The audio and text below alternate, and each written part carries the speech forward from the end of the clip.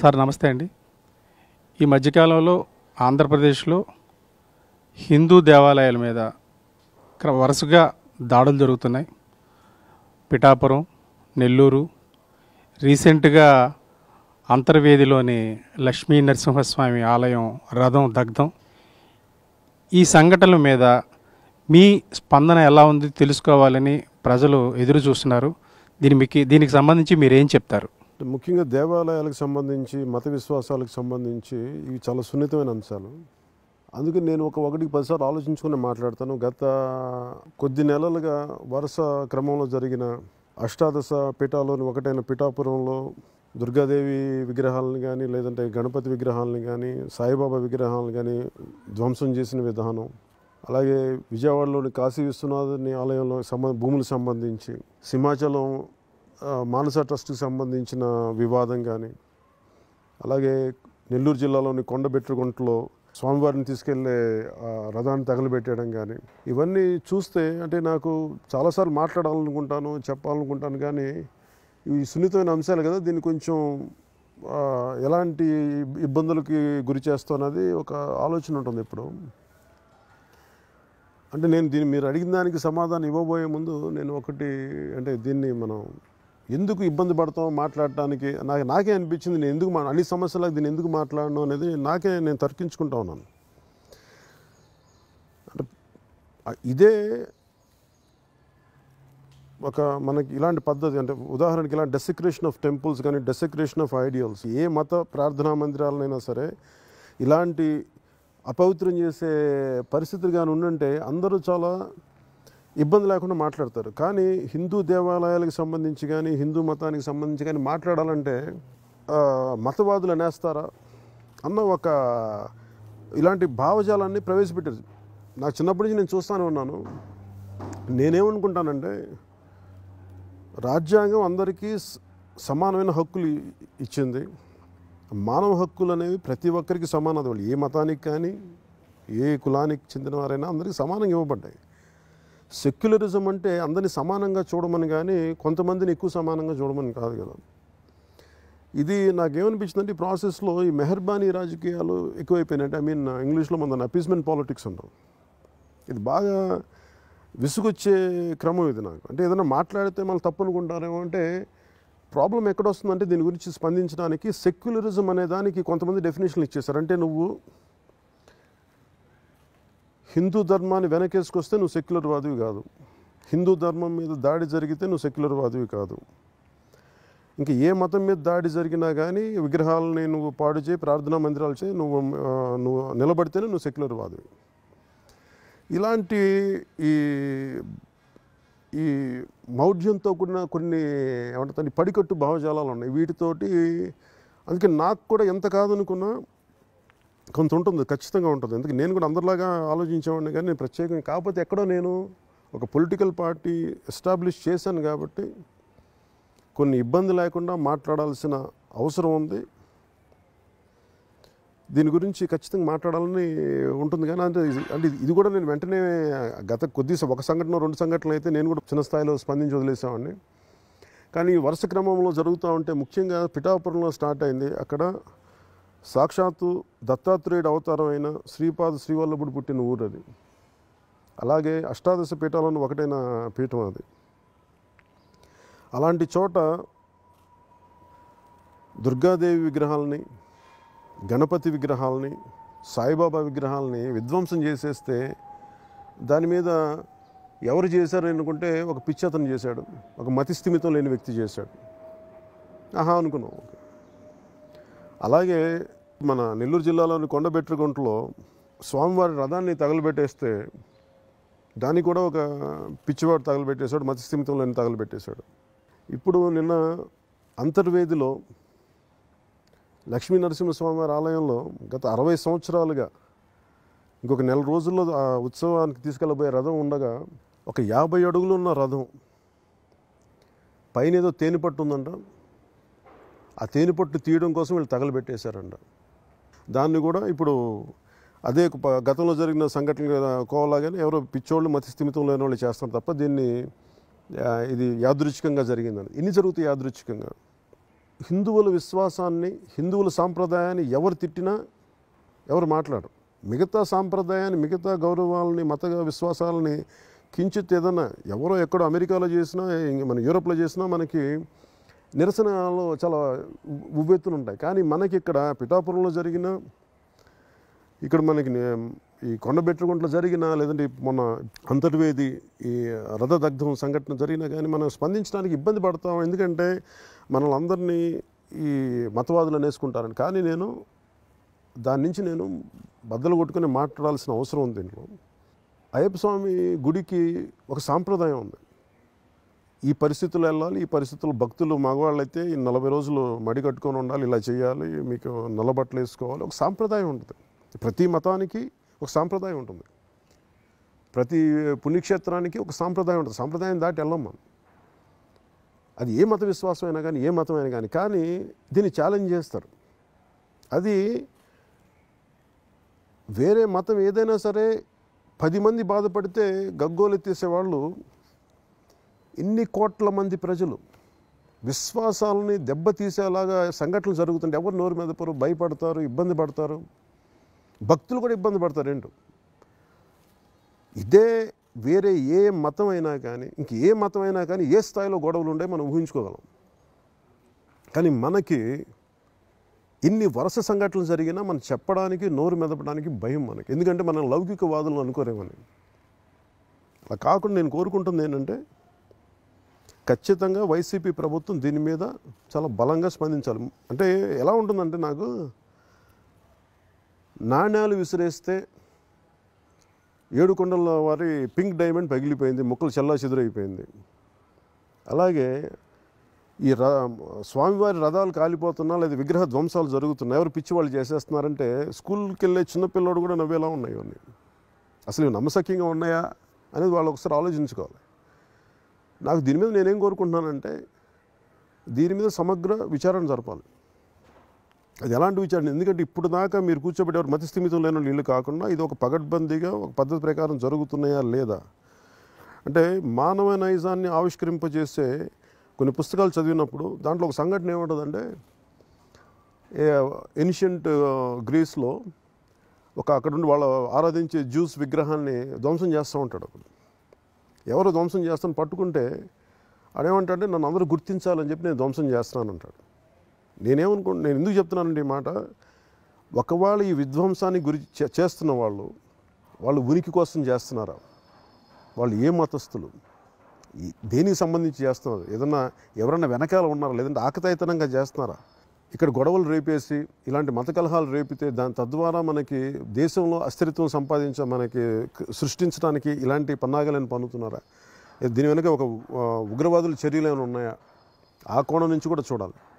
అందుకని వైసీపీ ప్రభుత్వానికి నేను విజ్ఞాపన ఏంటంటే ఇది జనసేన పార్టీ చాలా తీవ్రంగా తీసుకుంటుంది.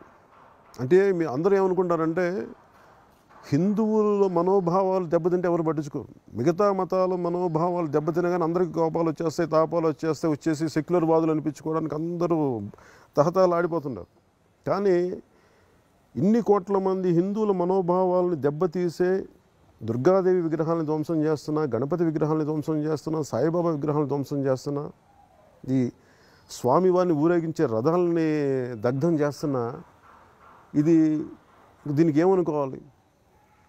అందుకని ఖచ్చితంగా దీని వెనక ఉగ్రవాద కోణం ఉందా? లేదంటే కొంతమంది స- సరదాగా చేసే ఒక ఆకతాయిలు గొడవ లేదంటే సంఘ విద్రోహాలు ఎవరైనా ఉన్నారా? లేదంటే రాజకీయ లబ్ధి పొందడానికి ఎవరైనా చేస్తున్నారా? వీటన్నిటిని అన్ని కోణాల్లో చూసి దర్యాప్తు చేయాల్సిన అవసరం ఉంది. అంతేగాని ఇది మేము ఇదివరకులాగా నేను మేము మొహమాట పట్టడానికో ఈ మాట అంటే మేము మమ్మల్ని సెక్యులరిస్టులు కాదంటారు. ఆ భయాలన్నీ నాకు లేవైతే. ఎందుకంటే నేను సంపూర్ణంగా ఈ రాజ్యాంగానికి సంపూర్ణంగా గౌరవించేది మేము. అది సంపూర్ణంగా సెక్యులరిజం అంటానికి ప్యూరెస్ట్ డెఫినేషన్ ఇవ్వాలి. అంతేగాని కూర్చోబెట్టి కొద్ది మందిని వెనకేసుకొచ్చి ఎక్కువ మంది మనోభావాలు ఉన్న వాళ్ళని కించపరిచేసి వాళ్ళని పట్టించుకోకుండా పోవడం ఇది సెక్యులరిజం అనిపించుకోదు. అందుకని ఖచ్చితంగా వైసీపీ ప్రభుత్వానికి నేను ఏం తెలియజేసుకుంటానంటే మీరు కనుక దీని మీద ఒక మాజీ న్యాయమూర్తితో విచారణ జరిపించింది ఎందుకంటే పోలీసుల మీద నమ్మకం లేదు ప్రజలకు ఎవరికి. ఎందుకంటే వాళ్ళు ముందే చెప్తున్నారు ఇంక రేపు పొద్దున ఫ్యూచర్ భవిష్యత్తులో ఏం జరిగినా కానీ అది ఎవరు పాప మత్స్యమితం లేని వ్యక్తి మీద పెడతారు. అతను మాట్లాడలేడు. అతను ఉనికి అతనికి తెలియదు కాబట్టి అతను ఎవడో మాట్లాడలేడు. దీనిని కనుక మీరు కొద్ది రోజుల్లో వీళ్ళు కనుక చేయకపోతే ఖచ్చితంగా దీనిని సిబిఐ దర్యాప్తు కానీ ఉగ్రవాద కోణం అనేది కానీ ఎక్కువగా అనిపిస్తే మటుకు కేంద్ర పరిధిలో ఉన్న ఎన్ఐఏ కూడా దీన్ని దృష్టి సారించమని వాళ్ళు కూడా దర్యాప్తు చేయాలని మేము ఖచ్చితంగా దీన్ని అప్పీల్ చేస్తాం మేము కేంద్ర ప్రభుత్వానికి. దీనిని మటుకు ఈ విగ్రహాల విధ్వంసం కానీ అలాగే ఆలయాల పరిరక్షణ విషయంలో కనుక ఏ మాత్రం నిర్లక్ష్యంగా ఏ ఇప్పుడు నేను ఈ రోజున వైసీపీ ప్రభుత్వం ఉందని చెప్పట్లేదు గత ప్రభుత్వాలు కూడా చాలా తప్పులు చేసినాయి. ఎప్పుడు కూడా ఇన్ని కోట్ల మంది ప్రజల విశ్వాసాలని మనోభావాలు దెబ్బతింటాయి. ఎందుకంటే వాళ్ళు ఓట్ బ్యాంక్ అది స్టాండర్డ్ టికెట్ ఫర్ గ్రాంటెడ్ కాబట్టి తీసుకుంటారు కాబట్టి వాళ్ళ మనోభావాలు వీళ్ళకి అవసరం లేదు. కానీ మేము చెప్తున్నాం ఈ రోజున మేము మటుకు మహం మనకి ఇస్లాంకి మేము ఎంత గౌరవం ఇస్తామో క్రిస్టియానిటీకి ఎంత గౌరవం ఇస్తామో హిందూ సమాజానికి కూడా మేము అంతే గౌరవం ఇస్తాం ఆ విశ్వాసాలను దెబ్బతీసే ప్రక్రియ ఏది ఉన్నా కానీ మేము చాలా చాలా బలంగా జనసేన తీసుకుంటుంది ఇక్కడతో ఈ ఈ దుండగులు చర్యలు ఆపకపోతే మటుకు దీన్ని చాలా పెద్ద స్థాయిలో కేంద్ర స్థాయిలో విచారణ జరిపించడానికి మేము ఖచ్చితంగా బలంగా డిమాండ్ చేస్తాం. అలాగే అంతర్వేదికి సంబంధించి ముఖ్యంగా చాలా దేవాలయ భూములు అన్యక్రాంతం అయిపోయినాయి. అసలు ఎంత ఆదాయం వస్తుంది అంతర్వేది లక్ష్మీ నరసింహ ఆలయానికి? అలాగే పూజలు అందుకోకుండా అంత ఆదాయం వస్తున్నా కానీ పూజలు అందుకోకుండా అక్కడ ఉండిపోయిన ఒక శివాలయం ఉండిపోయింది. దాని పరిస్థితి ఏం చేశారు? అసలు ఎందుకు నిర్లక్ష్యం చేశారు? ఇలాంటి చాలా ఉన్నాయి కోణాలు. ఈ విశ్వాసాలు వెనకేసుకొస్తే మాకు మతం అంటగడతారు ఆ భయాలు నాకు లేవు. ఎందుకంటే మేము అందరికీ అన్ని మతాలకి భారతీయ దేశంలో ఉన్న అన్ని మతాలకి ప్రజలందరికీ ప్రాంతాలకి సమానంగా గౌరవం ఇవ్వాలి. అందరికీ సమాన హక్కులు ఉన్నాయి. ఆ హక్కుల భాగంలోనే మేము మాట్లాడుతున్నాం. అందుకని దీనిని వైసీపీ ప్రభుత్వం దీన్ని చాలా తీవ్రంగా తీసుకోవాలి. లేని పక్షంలో మేము దీనిని కేంద్ర ప్రభుత్వం పరిధిలోకి తీసుకెళ్తాం. ఎందుకంటే నూట యాభై ఒక్క సభ్యులున్న మీరు మీకు సంపూర్ణమైన అధికారం ఉంది. మీరు న్యాయం చేయలేని పక్షంలో ఇన్ని కోట్ల మంది ప్రజల మనోభావాలు దెబ్బతింటా ఉంటే వాటికి న్యాయం చేయలేని పక్షంలో ఖచ్చితంగా కేంద్ర ప్రభుత్వం దృష్టికి జనసేన తీసుకెళ్తుంది. అలాగే హిందూ ఆలయాలు ట్రస్టులు విషయంలో ఈ మధ్యకాలంలో సాంప్రదాయాల్ని అతిక్రమిస్తున్నారన్న విమర్శలు వస్తున్నాయి. ముఖ్యంగా సింహాచల దేవాలయ భూములు పరిరక్షించే మార్స ట్రస్ట్కి సంబంధించి. దీని మీద జనసేన వ్యూ ఎలా ఉంది? పోరాట యాత్రలు వెళ్తున్నప్పుడు అవి మానస ట్రస్ట్ భూములు అని చెప్తూ ఉండేవాళ్ళు. అవి చాలా అన్యకనంతం అవుతున్నాయి కొంత పట్టించుకోవట్లేదు అంటే ఇప్పటి నుంచో కూడా కొన్ని వివాదాలు ఉన్నాయి. అంటే అప్పటి తరం పెద్దలు వీళ్ళందరూ కూర్చోబెట్టి దేవాలయానికి రాసిచ్చిన భూముల్ని అవి ఏంటంటే చాలామంది ప్రజలకి అన్నదానం చేయడానికి వాళ్ళకి అనేక రకాల ప్రజల అభివృద్ధి కోసం చేసిన భూములు. చాలా అన్యాక్రాంతం అయిపోయినాయి.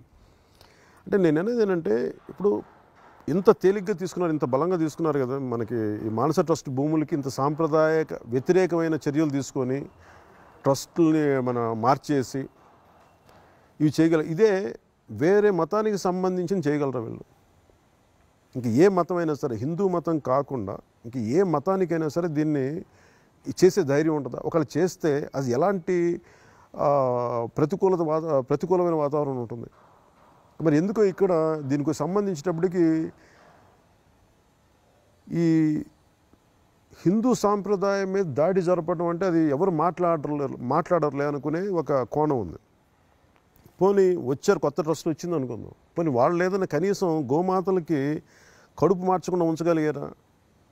సింహాచలంలో గోశాలలో స్వామివారికి దాని నుంచి నైవేద్యం అందే వాటి వచ్చే క్షీరం నుంచి తీసే ప- పదార్థాలు ఇటన్నిటికి ఉన్న గోమ గోశాల నుంచి అవి ఆకలితో మడం మలమలాడిపోతుంటే జన సైనికులు కానీ మిగతా బీజేపీ నాయకులు కానీ వెళ్తే కానీ అది బయటికి రాలేదు. అసలు ముందు హిందూ ఆలయాలకి సంబంధించింది కానీ హిందూ మనకి ఆలయ భూములకి సంబంధించింది కానీ వీటన్నిటి మీద సమగ్రంగా విచారణ జరపాలి. అన్ని దీని గురించి ఏంటంటే ముందు మేము స్టేట్ గవర్నమెంట్ కూడా ఏం అడుగుతున్నాం అంటే అసలు అన్ని ఆలయ భూములకు సంబంధించి ఒక సమగ్రమైన రిపోర్ట్ ఇవ్వండి. ఎంత భూమి ఉంది? ఎంత అన్యాక్రాంతమైన దానికి అన్యాక్రాంతమైన భూములకి మీరు ఏం చర్యలు తీసుకుంటున్నారు? అలాగే ఎంతంత ఆదాయాలు వస్తున్నాయి? అలాగే భవిష్యత్తులో హిందూ టెంపుల్స్ ఎండోమెంట్స్ డిపార్ట్మెంట్లో ఏమేమి అవకతవకలు జరుగుతూ ఉన్నాయి? అలాగే పరమత ప్రచారం జరగకుండా ఏమేమి చర్యలు తీసుకుంటున్నారు? గతంలో చీఫ్ సెక్రటరీగా ఉన్న సుబ్రహ్మణ్యం గారు అన్యమత ప్రచారం ఉండకూడదంటే వెంటనే ఆయన కొద్ది రోజులను బదిలీ చేశారు. ఇవన్నీ కాకతాళీయంగా జరిగినాయా? లేదంటే ఆయన ఆ మాట ఎందుకు జరిగినాయా కూడా చాలా వివరణలు ఇవ్వాల్సిన అవసరం ఉంది. ఇంకా దీనిని మేమేం చేస్తామంటే సెక్యులు అంటే మీకు లౌకికవాదాన్ని నిజంగా నిలబెట్టాలంటే ఏ మతానికి జరిగినా అత్యధిక మతానికి జరిగినా లేదంటే మైనారిటీ మతానికి జరిగిన అందరినీ సమానంగా చూడకపోతే మటుకు ఇది చాలా దుష్ఫలితాలు ఇస్తుంది. దీన్ని ప్రతి ఒక్కరు ఆలోచించి దీని మీద సమగ్రంగా న్యాయం చేయాలని కోరుకుంటున్నాం. పవిత్ర స్థలాల మీద దాడులు జరిగినప్పుడు రాజకీయ పక్షాలు ప్రజల స్పందన నామమాత్రంగా లేదంటే కొంచెం తగ్గించే విధంగా ఉంటుందన్న వ్యాఖ్యానాలు ఉంటాయి దీన్ని మనం ఎలా చూడాలంటారు? అంటే ఇది ముఖ్యంగా రాజోల్లో ఇంక ప్రత్యేకత ఏంటంటే ఫస్ట్ మాకున్న మేము జనసేన గెలిచిన స్థానం అది. నాకు అది ప్రత్యేకించి మా పార్టీకి దానిపైన ఒక ఎక్కువ స్పందించాల్సిన బాధ్యత ఉంది. అందరికంటే ఎక్కువ బాధ్యత ఉంది. నేను అంతర్వేది లక్ష్మీ నరసింహ స్వామి వారి ఆలయానికి కూడా వెళ్ళాను. అది ఎందుకంటే అది మీరు ఆ స్వామివారు జనసేనకు మొదటి గెలుపునిచ్చిన స్థానం అది. దాన్ని నాకు అప్పుడు వెళ్ళి వాళ్ళు అడిగినప్పుడు దాని గుడి గురించి కనుక్కున్నప్పుడు గుడి గురించి కనుక్కున్న వాళ్ళు చెప్పింది దాదాపు రెండు వందల సంవత్సరాల క్రితం కట్టిన వెలిసిన గుడి ఇది. అన్ని క్షేత్రాలు అన్ని నరసింహ క్షేత్రాలు కొండల పైన ఉంటాయి. ఇది ఒక్కటి మటుకు ఆ నదీ మనకి నదీ తీరంలో ఉంటుంది. పైగా గోదావరి నది సముద్రంలోకి సంగమం అయ్యే ప్రాంతం అది. అలాంటి చోట వచ్చింది. సో ప్రత్యేకమైన కారణాలు ఉన్నాయి దానికి. చాలా విశిష్టమైన దానికి పే ఇది ఉంది దానికి. ఇలాంటి పరిస్థితుల్లో వాటి గురించి ముఖ్యంగా వాటి గురించి కనుక్కుంటా ఉంటే నాకు చెప్పింది తెలియజేస్తుంది ఏంటంటే అక్కడ ముఖ్యంగా అగ్నికుల క్షత్రియులు అంటే మత్స్యకారులు అత్యధికంగా ఉండే ప్రాంతం అది. అక్కడ కొప్పనాతి కృష్ణమ్మ గారని ఒక అగ్నికుల క్షత్రియులు ఆయన కట్టి ఆయన కట్టిన గుడి అది. అసలు అక్కడ ఉన్న ఈ సాంప్రదాయం ఏంటంటే అగ్నికుల క్షత్రియులందరూ రథాన్ని వచ్చి దాని ముందు స్వామివారిని ఊరేగిస్తారు అది. ఇంకో నెల రోజుల్లో జరగబోతున్న అలాంటి ఉత్సవం జరగబోతున్న సమయంలో ఇలాంటి దుర్ఘటన జరిగింది. ముందుగా దత్తాత్రేయుడు అవతారమైన శ్రీపాద శ్రీవల్లభుడు పుట్టిన పిఠాపురంలో ఒక సంఘటన జరిగింది. ఆ సంఘ అక్కడ దుర్గాదేవి విగ్రహాలని గణపతి స్వామి విగ్రహాలని సాయిబాబా విగ్రహాలను విధ్వంసం చేసి ఆ రోజే కనుక నిందితులను సరైన నిందితులను పట్టుకొని ఉండుంటే అసలు ఈరోజు ఈ దుస్థితి వచ్చి ఉండదు కాదు. మన దౌర్భాగ్యం మన దురదృష్టం ఏంటంటే ఒక్కొక్క ప్రభుత్వం ఉన్నప్పుడు ఒకవేళ పని మాట్లాడతారు అందరూ. ఉదాహరణకి స్వామివారి టీటీడీ ఆలయానికి సంబంధించి పింక్ డైమండ్ కనిపించట్లేదు అనేది నేను పోరాట యాత్రలో ఉన్నప్పుడు నాకు మెసేజ్లు పెట్టి మరీ చెప్పారు. మీరు కూడా మాట్లాడాలి దీని మీద అంటే సార్ నేను అన్ని కనుక్కొని మాట్లాడాను. మళ్ళీ ప్రభుత్వాలు మారిన మళ్ళీ వాటి మీద ఎవరు ఊసేస్తారు మళ్ళీ? ఇప్పుడు వైసీపీ ప్రభుత్వం నేను నేను కోరుకునేది కూడా ఏంటంటే వైసీపీ ప్రభుత్వం అని అన్ని మీరు రివర్స్ రివర్స్ టెండరింగ్లో పెట్టారు కదా మీరు అన్నీ. అంటే గత ప్రభుత్వం ఏమేమి తప్పులు చేసింది వాటి రివర్స్ టెండరింగ్లో పెట్టారు కదా. అలాగే టీటీడీలో ఏమేమి జరిగినాయి? ఆ పింక్ వజ్రం ఎలా కోల్పో ఎలా పోయింది? నాకు అనిపిస్తుంది ప్రజాప్రతినిధులను కానీ జగన్మోహన్ ముఖ్యమంత్రి గారి దృష్టికి తీసుకొస్తున్నా. ఒక నాణ్యం విసిరేస్తే అంటే వజ్రం చాలా కఠినమైంది అంటారు అలాంటి పింక్ వజ్రం చాలా అత్యంత విలువైన వజ్రం చాలా గట్టిదని చెప్తారు. అలాంటి వజ్రం మీద కాయిన్లు విసిరేస్తే చల్లా చెదురైపోయింది అనేది ఒక హాస్యాస్పదమైన అలాంటి ఒక వివరణ ఇచ్చి తప్పించేసుకున్న దాని గురించి ఎవరు మాట్లాడేవాళ్ళు లేరు. మళ్ళీ ఆ రోజున అందరూ మీడియాలో మాట్లాడేసరి వెళ్ళిపోయారు కానీ ఈ రోజుకి దాని మీద విచారణ ఉండదు. భవిష్యత్తులో కూడా ఇలాంటి పునరావృతం కాకుండా ఇలాంటి పరిస్థితులు రాకుండా ఖచ్చితంగా జనసేన రేపొద్దున భవిష్యత్తులో ప్రజలు ఎన్నుకొని తీసుకొస్తే మటుకు ఇలాంటి అన్నిటి మీద మేము చాలా తీవ్రంగా తీసుకుంటాం. ఎందుకంటే మీరు ప్రజల మనోభావాలకు కానీ మత విశ్వాసాలకు సంబంధ అది ఏ మతమైనా కానీ హిందూ మతం కానివ్వండి ఇస్లాం కానివ్వండి క్రిస్టియన్ మతం కానివ్వండి ఏ మతం అయినా కానీ మత విశ్వాసాలను ఎవరైనా సరే తప్పుదోవ పట్టించి కించపరిచే చర్యలు ఏమి చేసినా చాలా బలమైన చర్యలు ఉండాలి. ఈ రోజున భవి ఇప్పుడు బలమైన అవకాశం వైసీపీకి ఉంది దీన్ని సరిదిద్దుకునే అవకాశం ఉంది.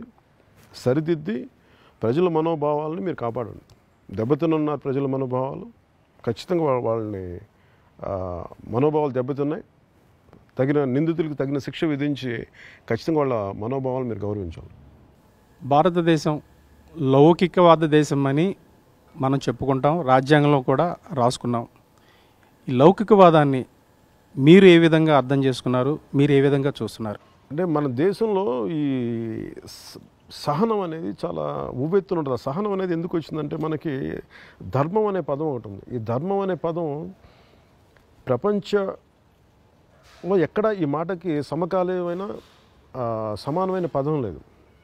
అంటే తన మన అని భేదం లేకుండా అందరికీ సమానమైన న్యాయం జరగటం అది అన్ని రకాలుగాను. అది నేను చెప్పడానికి కూడా తెలివిగా ఉంది కానీ కానీ దానికి దాని లోతుకి వెళ్ళే కొద్దీ అదొక ఒక్కొక్క వాక్యం అనంతమైన గ్రంథం అయిపోతుంది ధర్మం అనే ఇది తీసుకుంటాను అంటే మనం ఏంటంటే ప్రకృతిని పూజించే సంస్కృతి ఉన్న దేశం ఇది. హిందూ అనేది ఏదో కూర్చోబెట్టి ఒక దేవుడు ఒక దేవతని కాదు. అంటే ఎవరికి ఎలా తోస్తాయి నువ్వు దేంట్లో దేవుణ్ణి చూడాలనుకుంటున్నావు దీంట్లో దేవుణ్ణి చూడాలనుకుంటున్నావు వేప చెట్లు దేవుణ్ణి చూడాలనుకున్నావు వేప చెట్టుని ప్రార్థించాలి అమ్మవారు అయిపోతుంది అలా ప్రతిదీ కూడా ఒక ఒక ఒక క్రమం ప్ర క్రమ- క్రమ పద్ధతిలో చేసింది ఇదంతా. అలాగే ఇప్పుడు రఘుపతి రాఘవ రాజారాం మన మన భజన తీసుకుంటే అంటే రాముల వారిని కీర్తించే భజన తీసుకుంటే యాక్చువల్లీ ఒరిజినల్గా ఉన్నది ఏంటంటే రఘుపతి రాఘవ రాజారాం సుందర విగ్రహం మేఘశ్యామన్. ఆ రెండో లైన్ తీసి ఈశ్వర్ అల్లా తేరేనామని పెట్టారు. అంటే అదేంటంటే అది అసలు వేరే ఏ సంస్కృతి అయినా ఒప్పుకుంటుందా? భారతదేశ సంస్కృతి ఎందుకు ఒప్పుకుంటుందంటే కృష్ణ పరమాత్ముడు చెప్పినట్టుగా మీరు ఎవరినైనా నువ్వు ఎవరిని నువ్వు ఏ రూపంలో నువ్వు నన్ను ప్రార్థించినా నేను నీకు చేరువవుతాను ఉంటుంది అందువల్ల మనం ఏంటంటే ఒక ఇది అనుకుంటున్నారు అది గాంధీజీ గారు కూడా లేదంటే అప్పుడుకున్న స్వాతంత్రోద్యమ పెద్దలు ముందుకు నడిపిన పెద్దలు కూడా ఈశ్వరుల్లా తేరేనాం అనే ఎందుకు పెట్టారంటే ఒరిజినల్లో ఎందుకు మార్చారంటే ఆ ఉదారత్వం చూపించడం ఆ సహనం ఉంది సహనశక్తి ఉంది. సహనశక్తి ఎవరికి ఉంటుంది? బలవంతుడికి సహనశక్తి ఉంటుంది కానీ బలహీనుడికి సహనశక్తి ఉండదు. అంటే ముక్కోటి దేవతలు అంటే చెట్టు పుట్ట అన్నిటినీ గౌరవించి కొలిచే సాంప్రదాయం ఉన్న నేల ఇది. ఇలాంటి నేలకి ఇంకొక పది మంది భిన్నమైన దేవతలు వస్తే అది లోపలికి తీసుకునే దాన్ని దగ్గర తీ గుండెలో తీసుకునే జీవన విధానం ఉంది కానీ వాళ్ళు పక్కన పెట్టే జీవన విధానం లేదు ఎక్కడ. అదే మిగతా దేశాలకు వెళ్తే వా వారి విశ్వాసానికి ప్రథమ స్థానం ఇచ్చి మిగతా విశ్వాసాలకి వాళ్ళు ద్వితీయ స్థానం ఇస్తారు. కానీ భారతదేశంలో మీరు ఎవరి సంస్కృతిని మీరు మీరు గౌరవించుకోండి ఎవరి మత విశ్వాసాలను వారు గౌరవించుకోండి. అంటే ధర్మం పట్ల ఉన్న గౌరవం అది. అంటే మిగతా మత విశ్వాసాలకు మనం గౌరవం ఇవ్వాలి మిగతా ధర్మాలకి విలువ ఇవ్వాలి ఒక్కోసారి అది ఏమనిపిస్తుంటే అది చేతకాంతనంగా మనకెందుకులే అన్నట్టుగా ధోరణి అనిపిస్తుంది. కానీ వాస్తవానికి ఎవరు గాయపడకుండా ఉంటారో మనం ఇప్పుడు దుర్గాదేవి ఇప్పుడు ప్రతి శుక్రవారం మంగళవారం దుర్గాదేవి పూజలు చేసే ఆడపడుచులు ఉంటారు తల్లులు ఉంటారు. వాళ్ళ మనోభావాలకు ఇబ్బంది కలగవా? దుర్గాదేవి ఇప్పుడు పిఠాపురంలో దుర్గాదేవి విగ్రహాన్ని ఛిద్రం చేసేసారు విధ్వంసం చేశారు. ఆ మనోభావాలు దెబ్బతిని దెబ్బతింటాయి. కానీ వాళ్ళు ఎవరు చెప్పుకోలేరు. బాధపడతారు సైలెంట్గా అదే వేరే మతానికి వచ్చేటప్పుడు ప్రతి ఒక్కళ్ళు బయటకు వస్తారు. ఎందుకంటే అది మేబీ అది ఓట్ బ్యాంక్ పాలిటిక్స్ కావచ్చు లేదంటే వాళ్ళని వెనకేసుకొచ్చే గ్రూప్స్ కావచ్చు. కానీ ఇది మేబీ చులకన భావం అనుకుంటా. ప్రజల్లో ఉన్న సమస్య కంటే కూడా దీనిని కుహానా లౌకికవాదం అంటాం నేను అంటే ఒక ఫాల్స్ సెక్యులరిజంని నమ్మే వాళ్ళందరూ కూర్చోబెట్టి ఈ విశ్వాసాన్ని హిందూ బా హిందూ మత విశ్వాసాన్ని తిట్టినా పర్లేదు కానీ మిగతా విశ్వాసాలు వెనకేసుకురావాలి. అలా ఉంటుంది. మంచిదే. అన్ని మత విశ్వాసాలను వెనకేసుకుని దాంతోపాటు హిందూ మతాన్ని కూడా గౌరవం అని కోరుకు కోరుకునే వ్యక్తిత్వం ఉన్న సమాజం ఇది.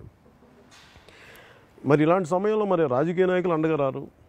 ఏదో నాలాంటి ఎవడో మాట్లాడతాడు. మిగతా వాళ్ళు కొన్ని హిందూ ధర్మ సంస్థలు మాట్లాడతాయి. లేదంటే కొన్ని ప్రత్యేకమైన పార్టీలు మాట్లాడతాయి. మరి నేను అనేది ఏంటంటే భారతదేశంలో ఎన్ని పార్టీలు ఉన్నాయి? ఆంధ్రప్రదేశ్లో ఎన్ని ప్రా ఎన్ని పార్టీలు ఉన్నాయి? అందరూ మాట్లాడాలి కదా. మీరు ఇంకొక మతానికి ఒక ప్రార్థనా మందిరం మీద లేదంటే వారికి సంబంధించిన గ్రంథాల మీద ఏదన్నా సరే ఇలాంటి దోషపూరితమైన విషయాలు జరిగితే మీరు ఎంత బయటకు వస్తారు? అలాంటిది ఒక గుడి మీద కానీ ఒక దుర్గాదేవి విగ్రహాన్ని విధ్వంసం చేసిన ఒక స్వామివారి రథాన్ని దహనం చేసేసిన దానికి మీరు ఎవరు స్పందించరేంటి వీళ్ళు? భయపడతారు దేనికి? అంటే వీళ్ళ వీళ్ళు మాట్లాడితే వీళ్ళ మనోభావాలు అంటే ప్రజలు మనకి హిందువుల మనోభావాలు దెబ్బతినవా? ఆడపడుచులు మనో అంటే గుళ్ళకెళ్ళి పూజలు చేసుకునే ఆడపడుచుల మనోభావాలు దెబ్బతినవా? సాయిబాబా భక్తుల మనోభావాలు దెబ్బతినవా? వెంకటేశ్వర స్వామి భక్తుల మనోభావాలు దెబ్బతినవా? అంటే మిగతా మనోభావ ఇంకెవరి మనోభావాలు అవసరం లేదు. కొద్దిగా మనకి ఎవరైతే ఓట్లు అనుకుంటారో వాళ్ళ మనోభావాలు అంటే మిగతా దేశ దేశ ప్రజలు దేశ ప్రజలు కాదా? వాళ్ళకు రెండు వేలు ఇచ్చి కొనేసుకోవచ్చా? ఇదే ఆలోచన విధానం. ఇప్పుడు దీనికి మారాలి అంటే ఖచ్చితంగా ప్రజల్లో చైతన్యం రావాలి. ఇంట్లో దీపం వెలిగించే ప్రతి భక్తుడు కూడా ఎవరు ఇప్పుడు నేను అనేది ప్రతి మత విశ్వాసానికి విఘాతం కలిగించి ఉదాహరణకి ఏ మతం తీసుకున్నా హిందూ మతం కానిది ఎవరైనా అన్య మతస్థులు ఎవరైనా సరే వారి మత విశ్వాసానికి చిన్న చిన్నపాటి ఒక మాట ఇబ్బంది కలిగే మాటను అందరూ రోడ్ల మీదకి వస్తారు. లేదంటే విపరీతంగా చాలా విదేశాల నుంచి ఒత్తిళ్ళు పెడతారు. కానీ ఇక్కడ ఈ దేశంలో ఇక్కడ దేవతల్ని విపరీతంగా ధ్వంసం చేస్తుంటే రథాలు తగలబెట్టేస్తుంటే రాజకీయ నాయకులు ఇప్పుడు ఎస్కేపిస్టులుగా మాట్లాడతారు. అందరం చెప్పలేను అట్లీస్ట్ కొద్దిమంది. కొంచెం అంటే కర్ర విరగకుండా పాము చావకుండా మాట్లాడతారు. లేదు మా మనోభావాలు దెబ్బతున్నాయి. ఇది ఎవరు చెప్పాలి? ప్రజలే చెప్పాలి. ఆడపడుచులు చెప్పాలి. మీరే ధైర్యంగా చెప్పగలరు. మీరు పూజలు చేస్తారు. విగ్రహాలు మీరు మీరు వ్రతాలు చేస్తారు. మీరే ధైర్యంగా మాట్లాడాలి. మీలో చైతన్యం రాకపోతే ఆడపడుచుల్లో చైతన్యం తీసుకొచ్చి వాళ్ళు వాళ్ళు నిలబెట్టాలి దీన్ని. నేనేం కోరు ఈ రోజున అలాగే ప్రతి హిందూ ధార్మిక సంస్థలు ఆంధ్రప్రదేశ్లో ఉన్న హిందూ ధార్మిక సంస్థలు అందరూ కూడా దీని గురించి మాట్లాడాలి. దీనిని ఈ ఈ చర్యని ఈ దుశ్చర్యని ఖండించాలి. చాలా బలంగా ఖండించాలి. అలాగే మిగతా మత పెద్దలు ఉన్నారు. ఇస్లాం మత పెద్దలు ఉన్నారు. క్రిస్టియన్ మత పెద్దలు మత పెద్దలు ఉన్నారు. మీరు కూడా దీన్ని ఖండించాలని కోరుకుంటాం. ఎందుకంటే రేపు పొద్దున వే మీ ప్రార్థనా మందిరాల మీద జరిగితే మళ్ళీ మాట్లాడరు. అందుకే అందరం కలిసి ఏ ప్రార్థనా మందిరం మీద జరిగినా కానీ ఏ దేవాలయ ఏ దేవతల విగ్రహాలను విధ్వంసం చేసినా కానీ అన్ని మతాల పెద్దలు దీనిని సమిష్టిగా ఖండించకపోతే మటుకు ఇది దుష్ఫలితాలను ఇస్తుంది. అది లౌకికవాదం అనిపించుకోదు. నిజమైన లౌకికవాదం ఏంటంటే నేను హిందూ మతాన్ని పాటించేవాడిని. భారతీయతను సంపూర్ణంగా అర్థం చేసుకున్నవాడిని గౌరవించేవాడిని. నేను హిందువుని కానీ ఇస్లాంని గౌరవిస్తాను. క్రిస్టియానిటీని గౌరవిస్తాను. ప్రతి మతాన్ని భారతదేశం ప్రతి మతాన్ని ప్రపంచంలో ప్రతి మతాన్ని ప్రతి కల్చర్ని గౌరవించే వ్యక్తిని నేను. ఉదాహరణకి నేనే సభలకు వెళ్ళినప్పుడు ఇస్లాం పాటించిన అభిమానులు కానీ జన సైనికులు కానీ నాకు ఒక వాళ్ళు ఇస్లాం క్యా క్యాప్ ఇచ్చినప్పుడు నెత్తి మీద ఎందుకు పెట్టుకుంటే నేను హిందువుని అయినప్పటికీ నేను నీ విశ్వాసాన్ని గౌరవాన్ని ప్రకటిస్తున్నాను. అది నేను చెప్పదలుచుకుంది. అలాగే నేను నేను బొట్టు పెడతానంటే కూడా నేను వాళ్ళు పెట్టించుకోకపోవచ్చు. అదేంటంటే అది మీ మీ విధానం నేను దానికి నేనేం కాదనలేను దానికి. అది రుద్దను నేను. నా నా మత విశ్వాసాన్ని ఇంకొకరి మీద రుద్దను. కాకపోతే నేను ఇంకొకరి మత విశ్వాసాన్ని నేను ఎందుకు తీసుకోగలనంటే నాకు నేను పాటించిన భారతీయ ధర్మం అన్ని మతాలని సమానంగా తీసుకోగలను.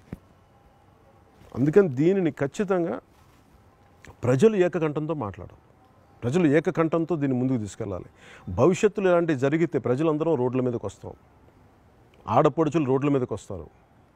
దీని మీద ప్రత్యేకించి మంగళవారాల్లో శుక్రవారాల్లో మొత్తం ఆడపడుచులందరూ దీని మీద నిరసన తెలపాలి. మీరు బయటికి రాకపోతే ఇలా జరుగుతూనే ఉంటాయి. మన ఇళ్ళలో కూర్చొని వంటగదుల్లో కూర్చొని బాధపడుతుంది తప్ప. ఎందుకంటే ఉన్న ప్రతి ఒక్కళ్ళు ఇంట్లోని ఇంట్లో ఉన్న మగవాళ్ళకి ఏమవుతుంది ఏ బయట గొడవలు అవుతాయని చెప్పి ఆలోచిస్తారు. కానీ ఇది దుర్గామాతని పూజించే నేల ఇది. అందువల్ల ఆడపడుచులే మీరే ధైర్యం ఇవ్వాలి దీనికి. అందుకే నేను ఆడపడుచుని సంపూర్ణంగా కోరుకుంటున్నాను. దయచేసి ఇలాంటి దుశ్చర్యలు జరిగినప్పుడు మీరు వచ్చి మీ మీ స్థాయిల్లో మీరు ఎంత కుదిరితే అంత మీరు మనస్ఫూర్తిగా దీన్ని బాహటంగా మీ నిరసనని తెలియజేయాలని నేను కోరుకుంటున్నాను దీనికి.